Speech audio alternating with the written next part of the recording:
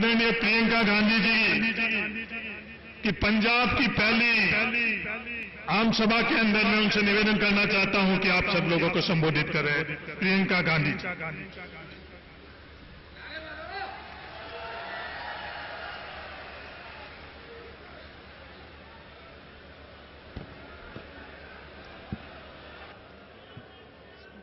मेरी प्यारी बहनों और प्यारे भाइयों आपका इस सभा में बहुत बहुत स्वागत।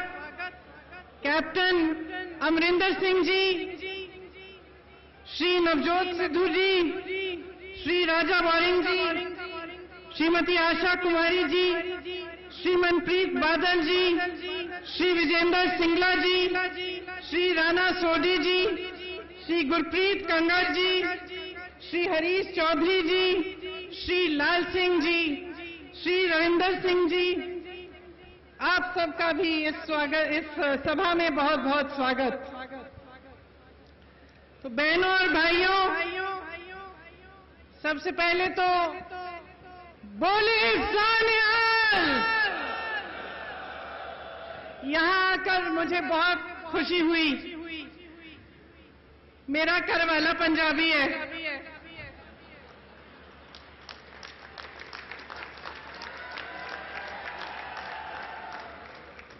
हर मुसीबत का सामना उन्होंने मुस्कुराते हुए किया। मैं पंजाब जब पंजाबियों की धरती पंजाबी कौम नु सलाम कर दिया। पंजाबी कौम हर मुश्किल का सामना डट के कर दी है। ते सदा खुश रह के चढ़ती कला रही है। अब मैंने अपनी पंजाबी शो ऑफ़ कर दी, पूरा भाषण हिंदी में दूँगी। सुना है कल प्रधानमंत्री जी आए थे, और सुना है कि इसी मैदान में उनकी मीटिंग लगी। और ये भी सुना कि उनके झूठों के सिलसिला, के सिलसिले का जवाब भटिंडा के आसमानों ने दे दिया।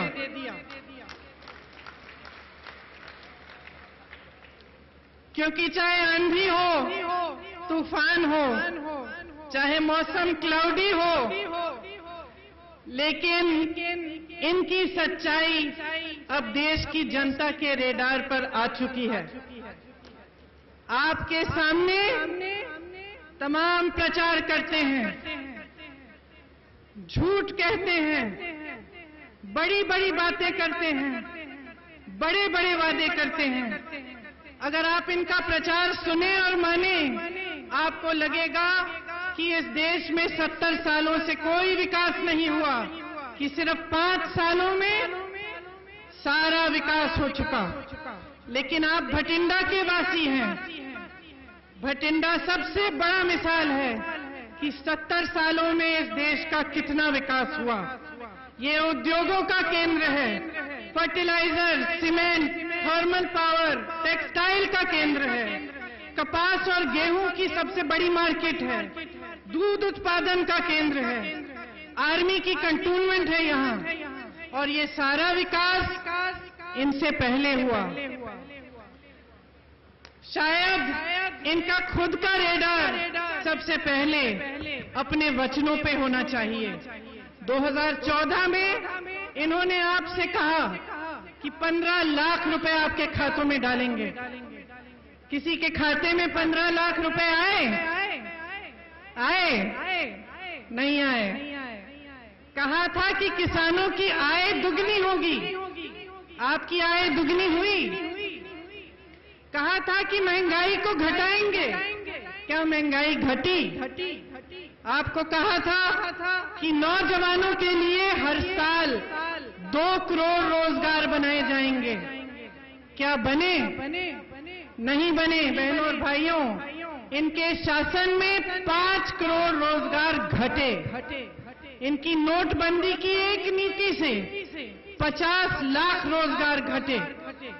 इनके शासन में 24 लाख सरकारी रोज़गार खाली पड़े हैं।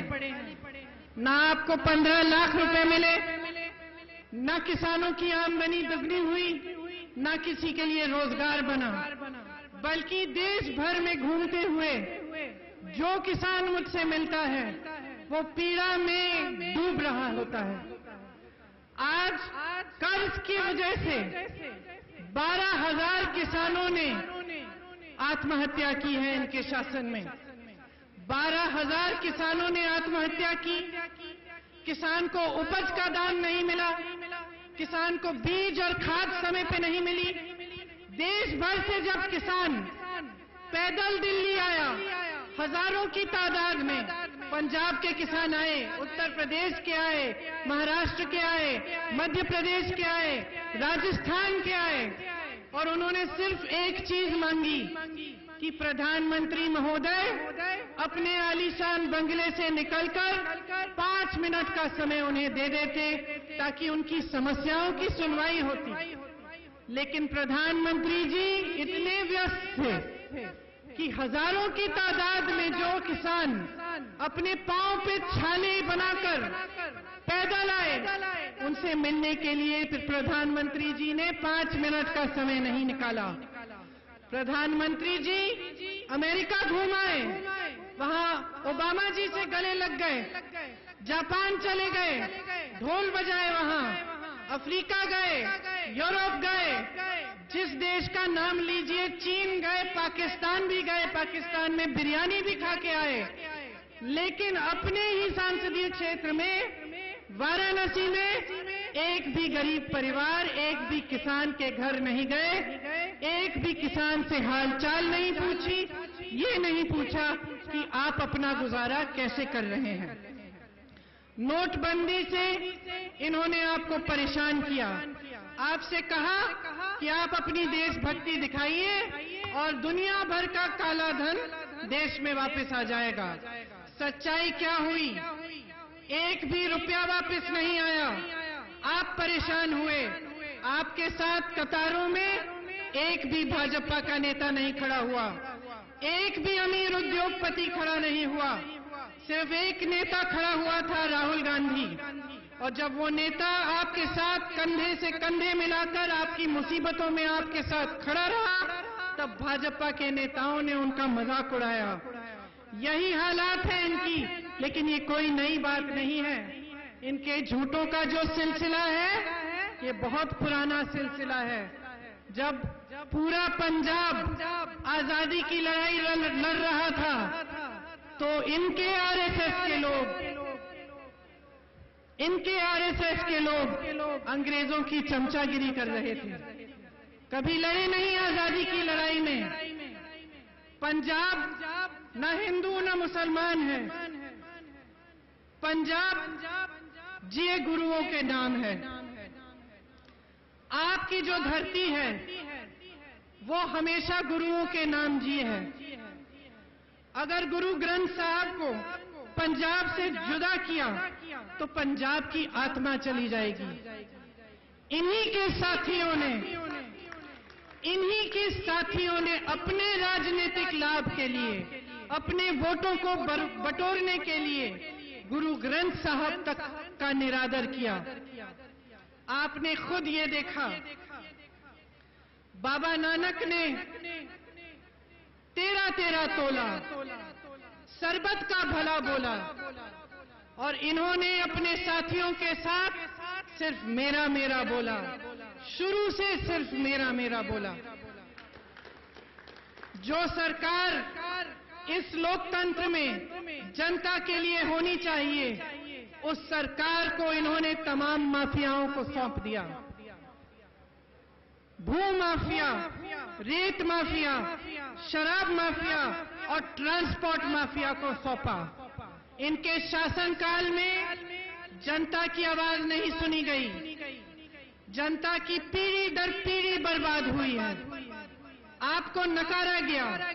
देश के किसान को, पंजाब के किसान को नकारा गया।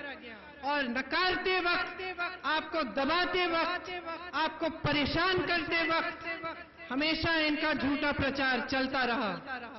आज भी आप टीवी देखेंगे या अखबार खोलेंगे तो इनके चेहरे दिखेंगे और बड़ी बड़ी बातें दिखेंगी आपको। कभी कहते हैं कि बिजली की बिल पे तलवार मारी तो कभी कहते हैं कि कोई और बड़ी उपलब्धि कर ली, बहुत विकास कर लिया, किसान बहुत खुशहाल हो गया, लेकिन सरासर झूठ कहते हैं। आज अगर पंजाब चिट्टा के वजह से तड़प रहा है। तो ये इन्हीं की सरकारों की बदौलत है। मेरे भाई राहुल गांधी जी ने ये मुद्दा तब उठाया जब किसी और की हिम्मत नहीं थी इस मुद्दे को उठाने की। जब वो पंजाब आए और उन्होंने ये बात कही तो इन्होंने तमाम उनके बारे में गलत चीज़ें बोली। लेकिन राहुल जी ने सच्चाई कही थी क्योंकि राहुल जी की राजनीति और कांग्रेस की राजनीति सच्चाई की राजनीति है। आपको गुमराह करने की राजनीति नहीं है। अगर कोई समस्या है आपके प्रदेश में तो उसको उखाड़ने की राजनीति है। उसको छिपाने की राजनीति नहीं है। इसीलिए इस चुनाव के लिए आप बहुत ध्यान से, बहुत ज़िम्मेदारी से सोचिए। कौन सी पार्टी आपके सामने कैसा संदेश लाती है? कौन सी पार्टी आपके सामने कौन सी घोषणा कर रही है? जो नेता आपके सामने मंच पे बैठे हैं, चाहे मैं हूँ, चाहे अमरिंदर सिंह जी हों, सिद्धू जी हों, कोई भी नेता जो आपके सामने मंच पे बैठा है, हम सबको बनाने वाले आप हैं। सच्चाई ये है, सच्चाई ये है कि लोकतंत्र में आपकी शक्ति सबसे बड़ी शक्ति है। लोकतंत्र में, भारत देश में किसी भी नेता से बड़ा, किसी भी नेता से महत्वपूर्ण, किसी भी नेता से मज़बूत जनता है। और इसी को लोकतंत्र कहते हैं। लोकतंत्र का मतलब है, आपकी शक्ति आपके हाथों में रहनी चाहिए। लोकतंत्र का मतलब है कि आपको गुमराह करके, झूठे प्रचार करके, आपको तबाह करके, आपके प्रदेश को माफियाओं को सौंप के कोई आगे नहीं बढ़ना चाहिए। आपको सबक सिखाना चाहिए इन्हें कि आप सच्चाई को देख रहे हैं, आप जागरूक बन गए हैं, आप अपनी भलाई चाहते हैं और आप हम सब नेताओं को सिखाइए, आप सब नेताओं से पूछिए कि आपके लिए क्या करने जा रहे हैं। आपके सामने आकर तमाम फिजूल की बातों करने, बातों को करने का कोई मतलब नहीं है। आपके सामने जो नेता आए चाहे कितना भी बड़ा हो, चाहे देश का प्रधानमंत्री न हो, वो आपको बताए कि आपके लिए क्या किया है उसने और क्या करने जा रहा है। यही सच्ची राजनीति है। और इसीलिए मैं आपको बताना चाहती हूँ कि कांग्रेस पार्टी ने इस चुनाव में एक ऐसा घोषणा पत्र बनाया है जिसके लिए राहुल जी ने दिग्गज नेताओं को देश भर में भेजा। राहुल जी ने उनसे कहा कि मैं आपकी आवाज़ नहीं मानता हूँ। मैं जानना चाहता हूँ कि जनता की क्या आवाज़ है। किसानों से मिलिए, उनसे पूछिए कि उनको क्या चाहिए, हम उनके लिए क्या कर सकते हैं। नौजवानों से मिलिए, नौजवानों से पूछिए, हम आपके लिए क्या कर सकते हैं। महिलाओं से मिलिए, महिलाओं से पूछिए आपकी मजबूती के लिए हम क्या कर सकते हैं? तो एक साल के कार्य के बाद, देश भर में जन जन से चर्चा करने के बाद कांग्रेस ने एक घोषणा पत्र निकाला है। उस घोषणा पत्र में कांग्रेस ने कहा है कि हर गरीब परिवार को बहत्तर हज़ार रुपए सालाना सरकार देगी।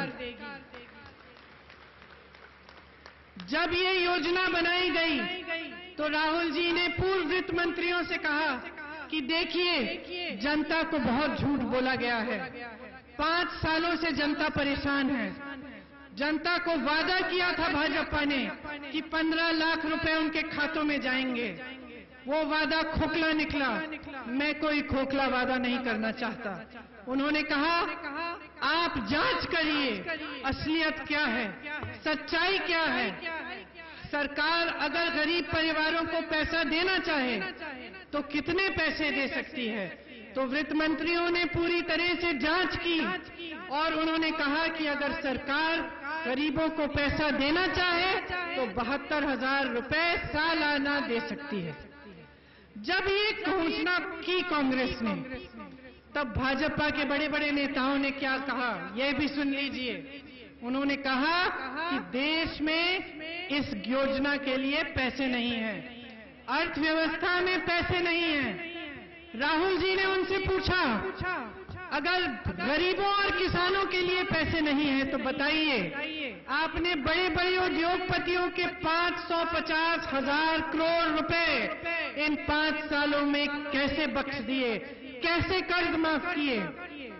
कोई जवाब नहीं आता बहनों और भाइयों, क्योंकि कोई जवाब नहीं है। ये सरकार सिर्फ़ बड़े बड़े उद्योगपतियों के लिए चलाई गई है। आपको मालूम है कि आपकी जो किसान बीमा ली जाती है हर महीने आपसे, उस किसान बीमा से बड़े बड़े उद्योगपतियों के दस हज़ार करोड़ रुपए का फ़ायदा हुआ है। दस हज़ार करोड़ रुपए का फ़ायदा आपकी किसान बीमा से बड़े बड़े उद्योगपतियों का हुआ। और जब आप पे आपत्ति आई, जब आपके खेतों का नुकसान हुआ, तब आपने कभी ये बीमा के पैसे नहीं देखे। यही असलियत है इस सरकार की। जब कांग्रेस पार्टी ने कहा कि किसानों के कर्ज माफ़ किए जाएँगे, तब भी उन्होंने कहा कि पैसे नहीं है इसके लिए। मज़ाक उड़ाया। लेकिन आपने खुद अपने प्रदेश में देखा है। और जहाँ हमारी सरकारें आई, मध्य प्रदेश, छत्तीसगढ़ और राजस्थान में, आपने खुद देखा कि मात्र तीन दिनों में कर्ज माफ़ होने शुरू हुए।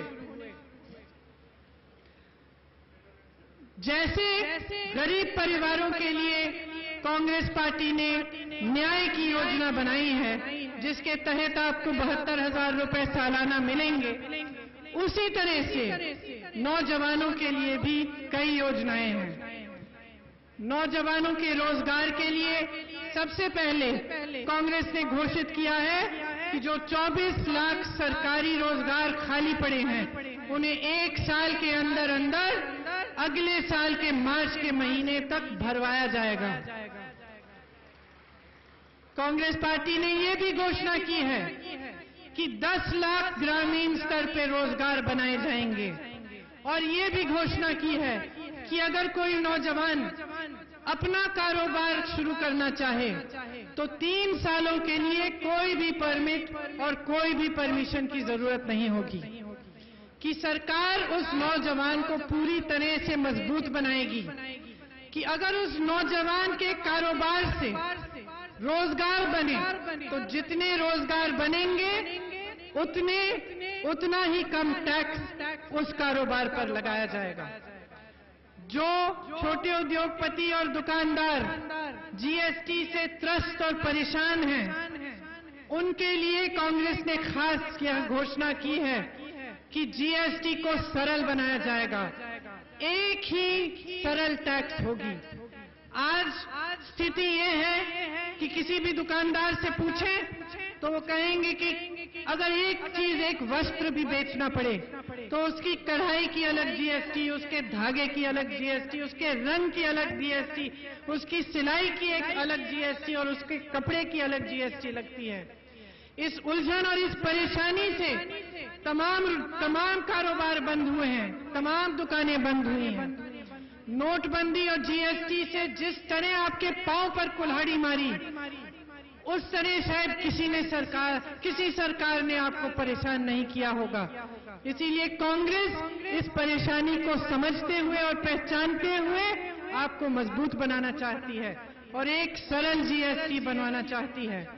मेरी बहनों के लिए 33 प्रतिशत आरक्षण संसद में होगा। इसके ज़रिए जो हमारी समस्याएँ हैं, जो महिलाओं की आवाज़ है, वो संसद में ठीक तरह से उठेगी। बच्चों की शिक्षा के लिए बारहवीं तक सरकारी पाठशालाओं में मुफ़्त शिक्षा मिलेगी और अस्पतालों में, सरकारी अस्पतालों में जाँच और चिकित्सा मुफ़्त में मिलेगी। ऐसी तमाम योजनाएँ हैं, किसान भाइयों और बहनों के लिए भी एक अलग बजट बनेगी। इस अलग बजट के द्वारा आपको हर साल ये बताया जाएगा कि आपके लिए कितना खर्चा जाएगा, कौन सी योजनाओं में जाएगा, किस तरह से सरकार उन योजनाओं को सफल बनाएगी। हर डिस्ट्रिक्ट में फ़ूड पार्क बनाने की उम्मीद है हमारी, ताकि आपकी उपज सीधी देश की बाजारों से जुड़ जाएगी, ताकि आपको आपकी उपज का दाम अपने ही क्षेत्र में मिले। इस तरह से तमाम योजनाएँ हैं जो हमारे घोषणा पत्र में है। और मैं आपसे आग्रह करना चाहती हूँ कि आप घोषणा पत्र को पढ़िए, क्योंकि ये चुनाव जो है, बहुत महत्वपूर्ण है। ये हमारे देश को बचाने का चुनाव है, हमारे लोकतंत्र को बचाने का चुनाव है। एक ऐसी सरकार को शिकस्त देने का चुनाव है, जिसने आपकी आवाज़ सिर्फ़ सुनी नहीं, लेकिन आपकी आवाज़ को दबाने की कोशिश की है। अपने आप को देशभक्त कह के तमाम देशवासियों को देशद्रोही कहते हैं। मैं उत्तर प्रदेश में एक अध्यापिका से मिली, जो अपने वेतन के लिए प्रदर्शन करने गई और उसको पीटा गया, जेल में डाला गया और उन पर देशद्रोही का कानून लगाया गया, क्योंकि अपने अधिकारों की मांग करने की हिम्मत हुई उनमें। ये लोकतंत्र है बहनों और भाइयों। आपके अधिकार आपकी शक्ति है। आपके अधिकार आपकी हिम्मत है। आपको दबाने की हिम्मत किसी भी सरकार में नहीं होनी चाहिए। और ये सबक मैं जानती हूँ कि इस चुनाव में आप भाजपा और उनके सहयोगियों को पूरी तरह से सिखाने वाले हैं। राजा वारिंग जी यूथ कांग्रेस में होते थे, जहाँ उन्होंने बहुत प्रगतिशील कार्य किए। एक मज़बूत उम्मीदवार हैं, एक सच्चे राजनेता हैं, जो आपके लिए दिन रात एक करके आपके प्रति समर्पित रहेंगे। इनके हाथ मज़बूत करके कांग्रेस पार्टी को एक बार फिर केंद्र में स्थापित करके आप अपने भविष्यों को मज़बूत बनाएँगे। आप अपने देश अपने प्रदेश को और भी मज़बूत बनाएँगे। अपने बच्चों के अपनी अगली पीढ़ी के लिए इस चुनाव में आप अपना वोट दीजिए। जो पीढ़ियाँ बर्बाद हुई हैं उन पीढ़ियों को, की, बचाने के लिए आगे वाली पीढ़ियों को मज़बूत बनाने के लिए अपना वोट दीजिए। कांग्रेस पार्टी को भारी से भारी बहुमत से जिताकर देश और पंजाब को एक बार फिर उसी रास्ते पे लाइए, जिस रास्ते से आपका पूरी तरह से विकास हो। आप सबको बहुत बहुत धन्यवाद। जय हिंद।